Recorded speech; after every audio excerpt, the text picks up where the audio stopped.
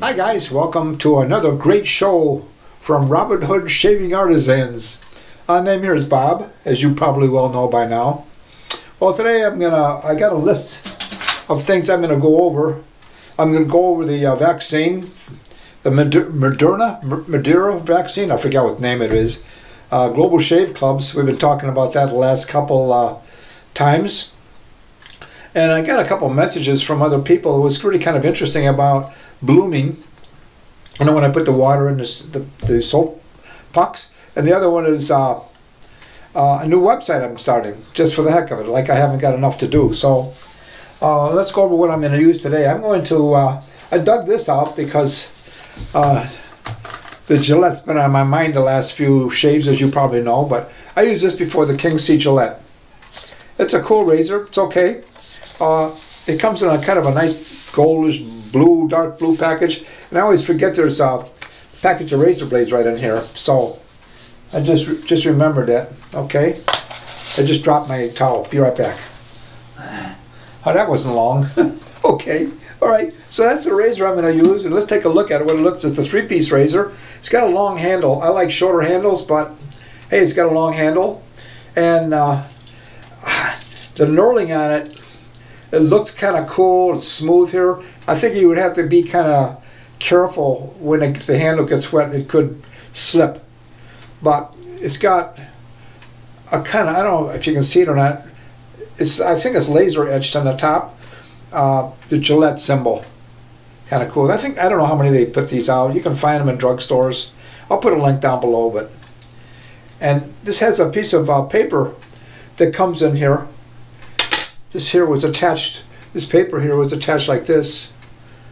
I almost forgot to take it out. I got to play with it to get it out. But they said remove paper. Why they put it in there, I don't know. Just They just did. I've never seen another. Well, the, I think there was one other razor I got a long time ago that had that. All right, let's move on here. I'm going to use a Pol Silver blade, extra stainless. There's no label on it, but um, this will be the second usage of it. So I took it out. This is not, you like the way I, I print? okay. All right, so let's drop this in here.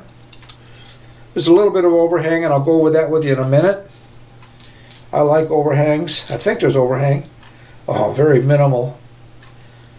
Let me put this thing together, and I'll show you what I'm talking about. This is a closed comb razor, three-piece. It's heavy. Okay.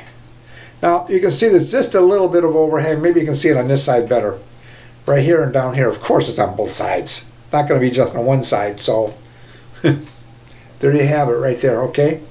Uh, soap I'm going to use, I dug it out. I'm going to use the Proraso, Proraso cream soap.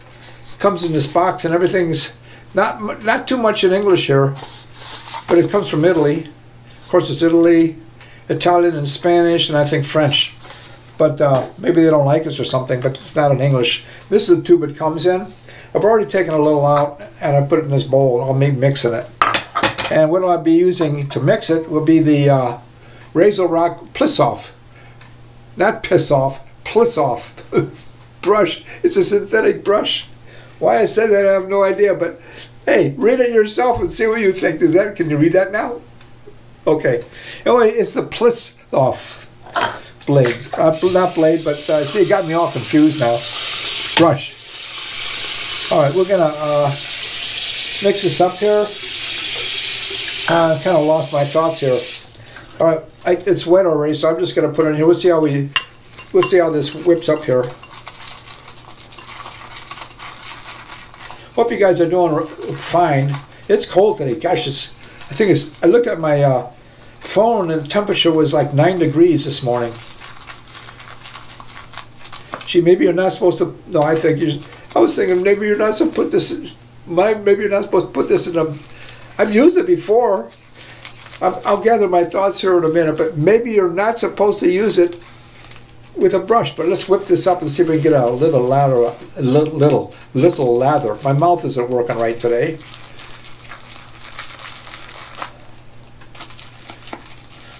Uh, I've got about a week's, oh, there it's coming now. I've got about a week, if you can see my beautiful face with the whiskers about a week's worth. See my R7 ball cap? All my companies basically start with R7. R7 Investigations. And my new website will be R7 Scooters. And how on earth did I come up with that idea? Well, well, I'm mixing this.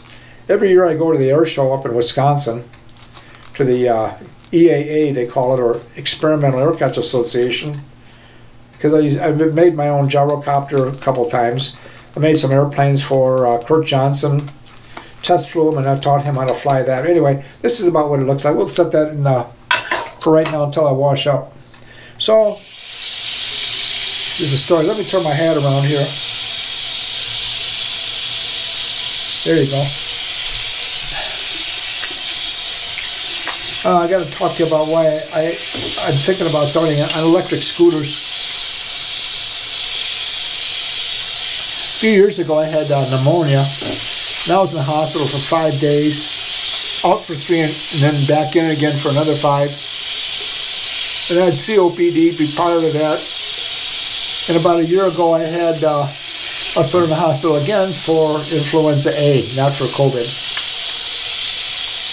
And each time you have uh, like pneumonia or influenza A or influenza or whatever, it does it puts a mark on your lungs. In other words, it, it, it reduces the the volume that you can breathe in and out. It really never gets any better. But I don't smoke anymore. I used to, but uh, so I'm up walking there. Last time I went, it was two years ago, I think, in Oshkosh. And it's a, I don't know if you guys have ever been there, but it's huge miles and miles you wind up walking. And it's really hard for me to walk long distances.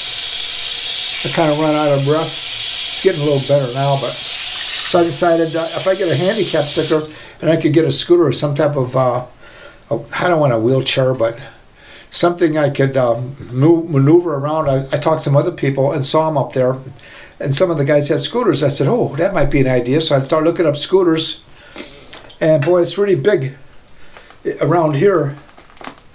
All right, let's put this on.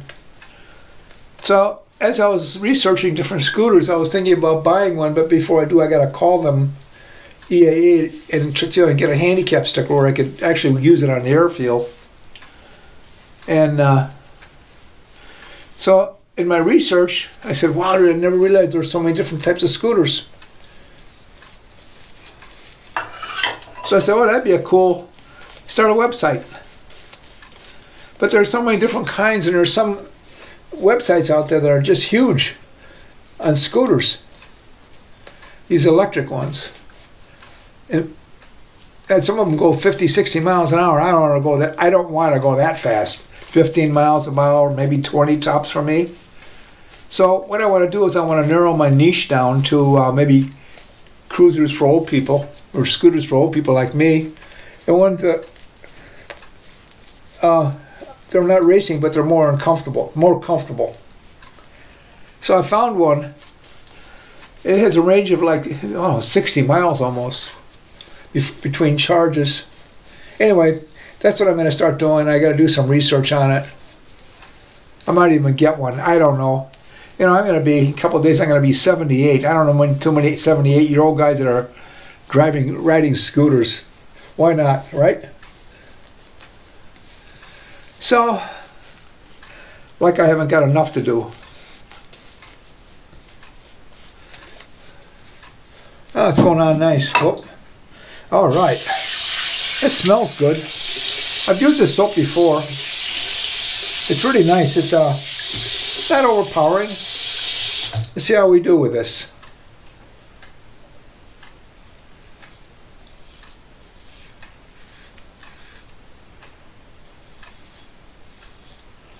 I see it right already. I can tell you're going to have to turn this razor over quite a few times because the whiskers are pretty uh, long. It's all right.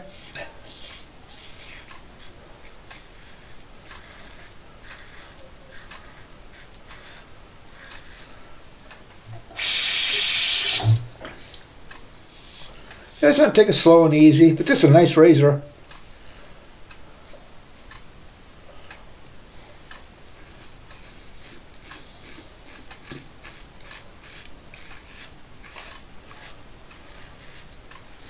I guess it came out, I don't know, a year ago or so with, an a limited edition. Although I still see them in the store. Somehow I nicked myself right there and I don't know why.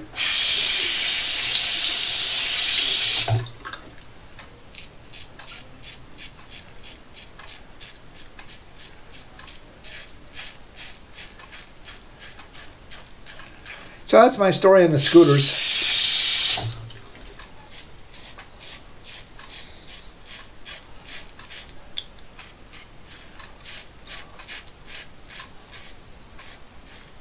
Whiskers are long. I'm probably slurring my words. I don't want to keep my mouth open when I'm doing this. Cut my tongue off. Of course, that may not be a bad idea.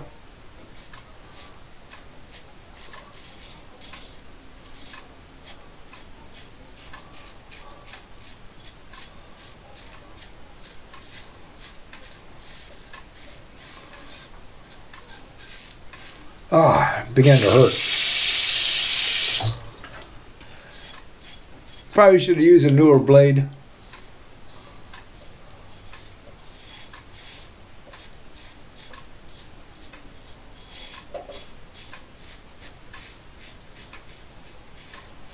All right. I told you I got that first injection. COVID.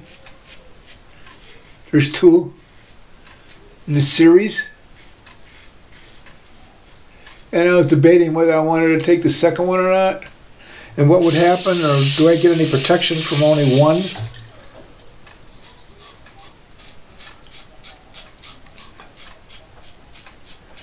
Well, the short answer is yes, you do get protection from one.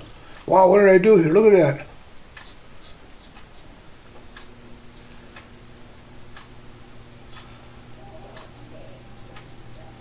Huh.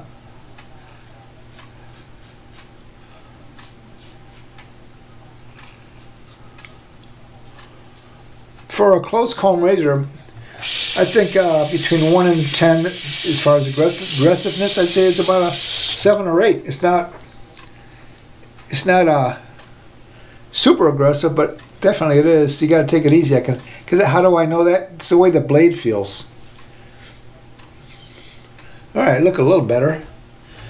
All right, let's go to number two here and wash my face again with soap. Hear my clock? See, I can't hear it from this end, and you can hear it check. I mean, half you guys, I can hear you snoring. Fall asleep. Listen to that damn clock. I used to move it. I don't move it, but every time I look my videos and I, I edit them, I hear that damn clock ticking. I say, oh man, I gotta move it sometime. But I think I'm so used to it, I just leave it there. It's my symbol. Okay, we're talking about the uh, vaccination. See, I got to come with stories because just to talk about shaving, it's it's interesting. But hey,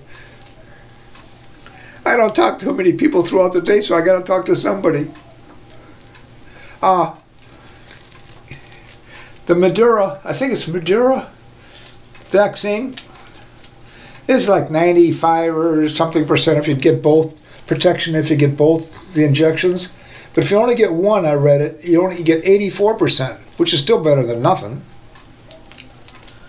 And the reason I'm considering not getting a second one because I should have thought of this before, but you know, sometimes I'm really brain dead. Uh, you got to sign all these documents when you before you get it. That you have to give your rights away. You can't sue the drug company in case you wind up with losing an arm or something, or you foam at the mouth or whatever. Uh, so they're protected. They get a certain amount of immunity. Well, full immunity, actually. And then the second thing is you, it's all over the place. It says experimental drug. And you have to kind of remember that this whole nonsense started a little over a year ago, but and they, let's say they started about a year ago trying to come up with a drug so, a vaccine rather, and uh, they didn't have it right out of the box. In other words, they had to put it together to test this, to test that, and finally they came up with something. Probably about out of 12 months, maybe two, three months ago, they came up with a final product. Normally, they would do is test it for years on animals and then people. And then when it comes out, they don't say it's experimental because it's been tested. But you have to sign a document, and you'll find out if you get it that you have signed documents understanding that it is experimental. And that tells me, well, they don't have to tell me. I know by the, the length of time that it's been out that they haven't fully tested this on animals or people to learn, find out what the long-term effects are. Now, so I was going to say, well, I'm not a doctor, but I am. so, um, you want to take your, you know, do all the study yourself, make your own decisions. I'm not saying don't get it. Uh, just be cautious. Understand what you're getting. Because most of the people, oh, they just blindly go in and get it. And it's like, you don't know what's going to happen a year or two years from now. Hopefully it's okay. What am I doing? I should have gone this way. Did I go this way? I don't even remember, guys. Oh. So I get talking and distracted. All right. Oh, I really cut myself.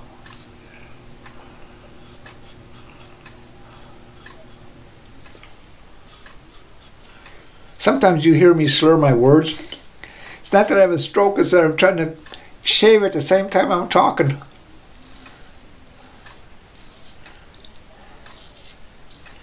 Alright. That's better. I think I went sideways. So that's that's an. Somebody made a comment. They didn't know if, what would happen if you just took one. Well, you do get a certain amount of protection.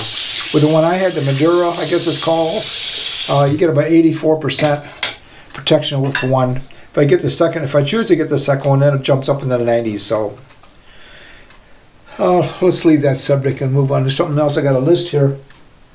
Oh, a couple of you guys made a, a comment. Remember, I've done it in the past. I think the last one we talked about a hard soap. And did I, I put it in my cup here and I put water on it. It's called blooming. First time I heard that was from Paul H., the word blooming. And one of my viewers, and I'm sorry, I forget, I just don't have the name right now, uh, stated that what happens when you bloom, it actually takes some of the quality of the soap out. So it sounds like it, you know, he's right. I never heard that before. So, hey, I'm new at this, so Learn something new every day. And also, if you get a one of these pucks, you know, soap pucks, you can put that just like the, you get the. Uh, hold on a second. I'm gonna show you what I mean. Uh, I this think. body shave Nivea. Oh, like this here. In this one, you roll on. You put it directly in your face. Okay, well you can do the same thing with the, the pucks. Just hold it and put it on and that should work fine. So if you don't have a brush or you don't have your mixing bowl with you, you can use that. So those are a couple of tips that I got from you guys and I appreciate it. Thank you. All right, we're going to go up this time. This blade is shot.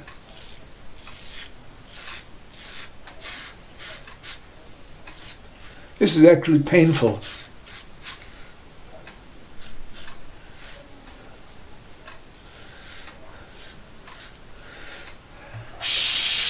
All right, that's a couple of salt box blooming. Oh, I'll tell you about my new website. Okay, last thing I'm going to talk about is Global Shave. I got a lot of comments. I think 80, 90% of them said, take your money. Basically, paraphrasing, take your money and run.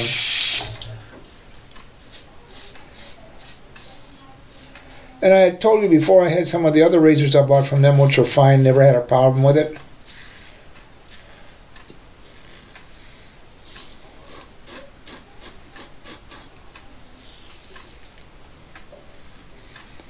I'm not happy with the shave. I still have a lot of whiskers left. Maybe it's the blade.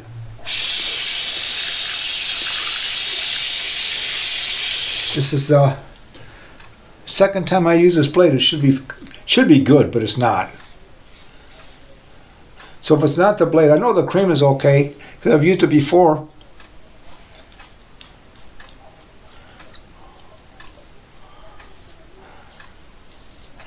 Maybe it's the razor.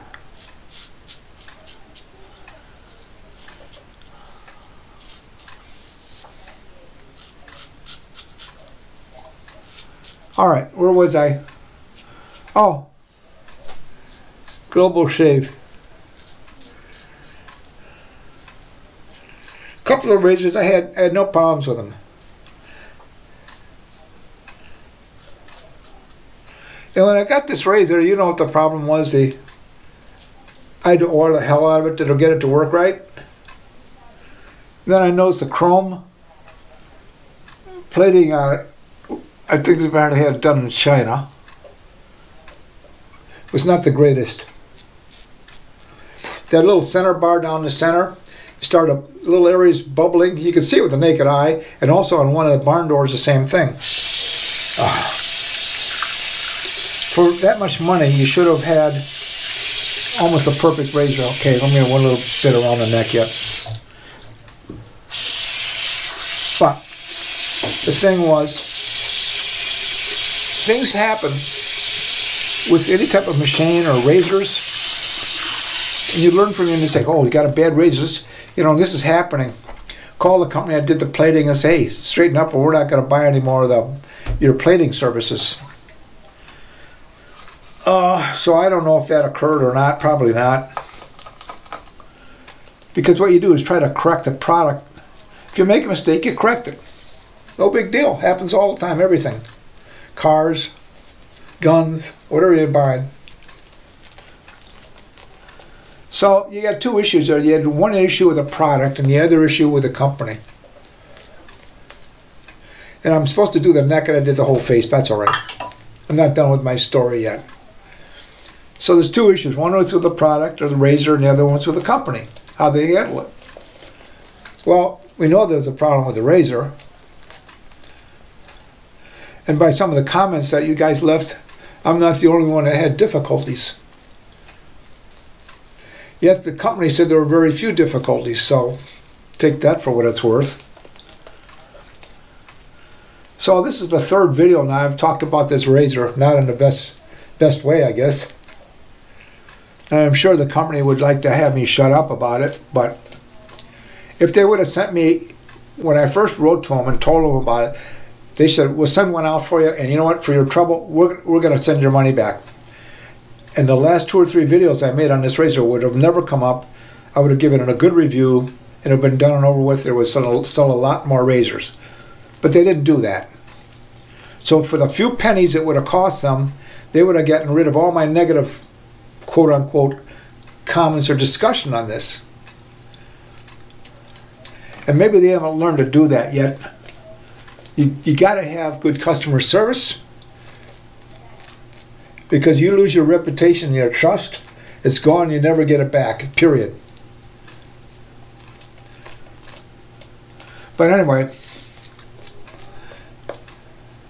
most of you guys said, you know, just get your money back. But I said I wanted to be fair. So I said, here's what I'm going to do.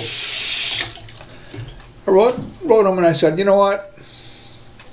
he did apologize at the very end. He should have, I read that letter to you you should apologize in an opening statement.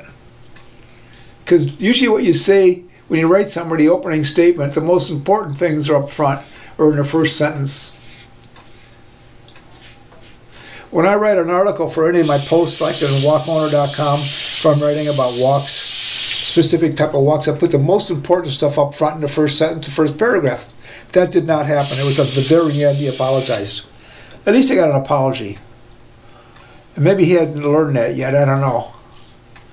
So I told him, I said, I'll give it a second chance.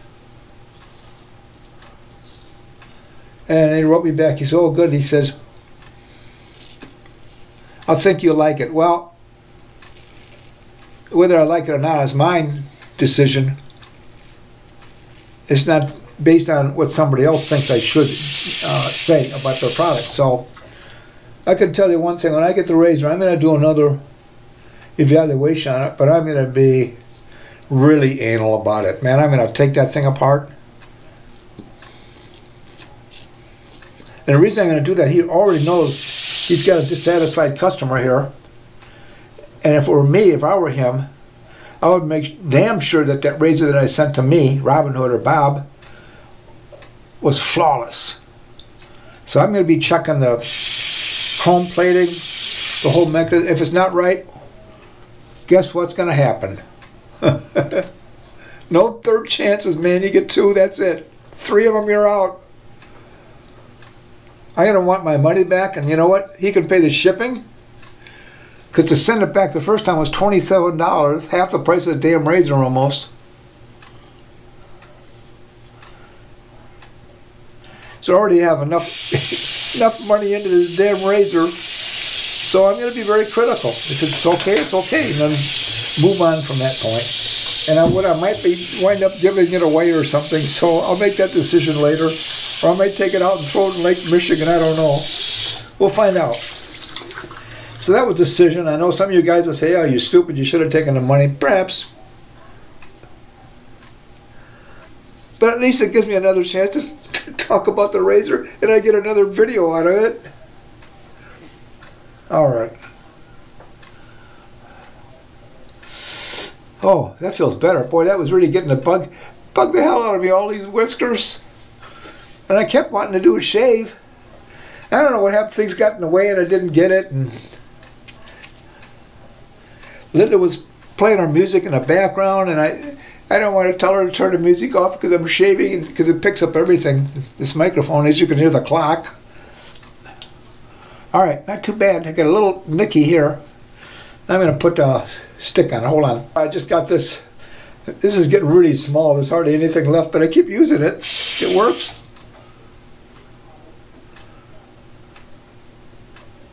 There you go. I think that's going to heal. I don't have to go to the emergency room for this. Oh, I feel kind of queasy looking at the blood. No, I'm not. I'm okay. All right. All right, what I'm going to do now is I'm going to use some uh, witch hazel, but I'm going to switch. First time I've switched in a long time, so you guys are here to see this. I'm going to use Dickinson's original witch hazel pore perfecting toner. I don't even remember where I got it, but I have a link down below buy buy it everywhere just about. It's unscented.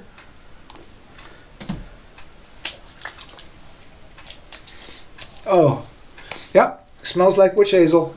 It feels like witch hazel. It really cleans the skin really nicely. Witch hazel, by the way, is really, uh, really good. It says 100% natural toner, refreshes the skin and refreshes the pores. Uh, removing excess oil, dirt, makeup. Well, I don't know where's makeup. Uh, it is made using sustainably harvested, certified organic witch hazel plants that are distilled for purity and performance, creating a, a signature botanical, botanical, blah, blah, blah. Why would you want an organic witch hazel? You're not going to drink it. Uh, maybe because you put it on the skin. I don't know. All right, uh, let's move on here. This after shave, I'm going to use a CAD. Uh, this is I always mess this name name up. Artisan Accoutrement Phoenix, PAD, Phoenix Artisan Accoutrements. This is really great stuff. If you ever tried it, you got to give it a whirl. I don't use it that often. I'm trying to save it. It's so nice. And again, the opening on that is pretty big. Oh, man. Ugh.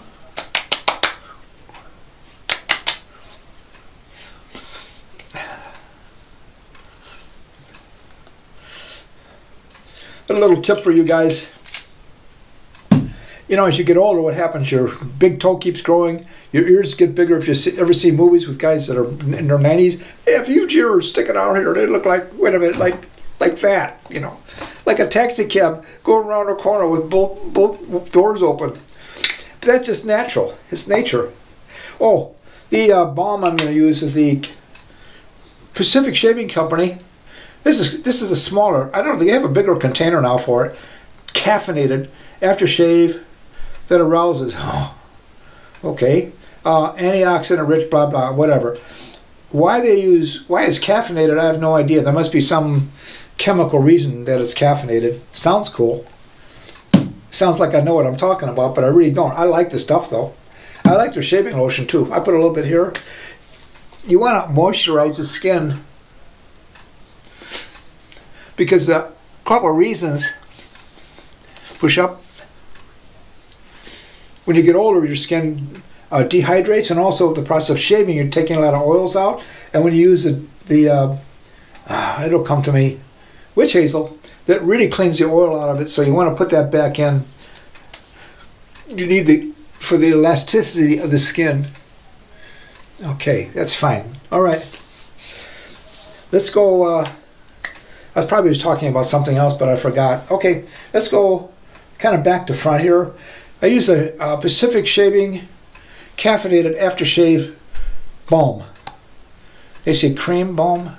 I don't know. It's a balm. I consider it a balm. Okay. And then the uh, CAD. What CAD stands for is I have no classic barbershop scent. There you go. Classic barbershop scent by Phoenix Artisan Accoutrements. I'll get it right. It's an aftershave and cologne. Really nice stuff.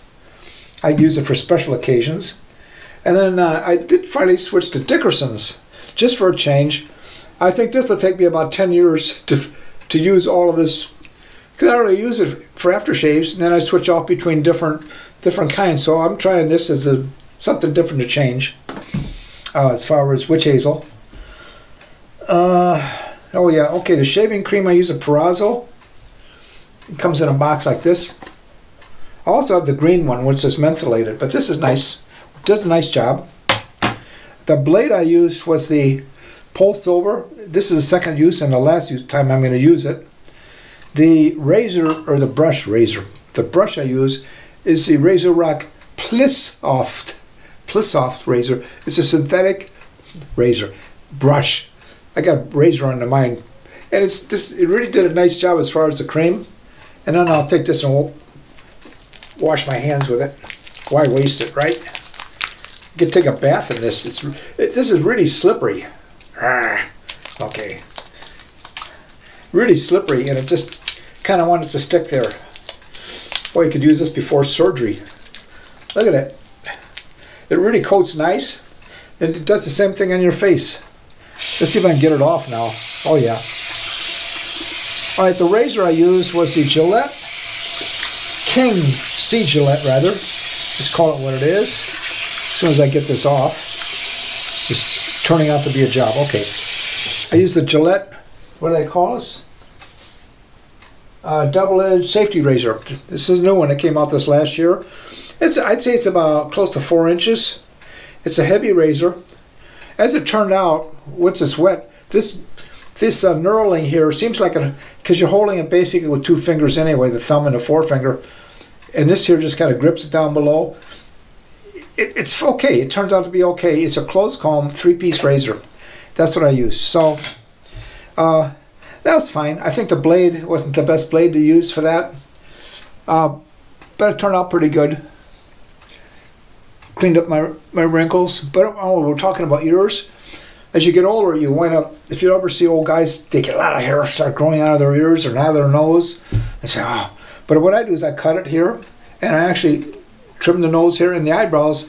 If I didn't take care of my eyebrows, it'd be one piece, and every time I blink, it would look like windshield washers in a car. So it's just some tips, and I'll show you if you want to know leave some comments how I how I do this and not screw it up, especially up here. And this, I use the same tool. So I'll talk to you later. Uh, when I get that razor, I'm definitely going to do another uh, video on that uh, razor by Global Shave Clubs International.